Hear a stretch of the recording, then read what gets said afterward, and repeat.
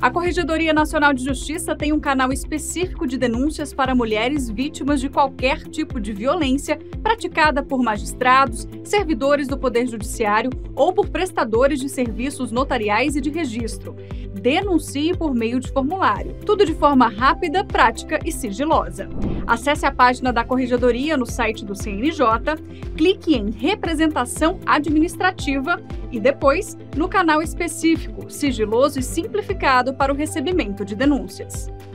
Preencha os dados pessoais, como nome, CPF, data de nascimento, endereço, telefone, e-mail e forneça informações de quem praticou a violência, se é conhecido ou não, o cargo, órgão e também o tipo de violência sofrida, bem como suas características, data, prova, por fim, escolha se deseja ser ouvida em audiência por uma juíza da Corregedoria Nacional de Justiça.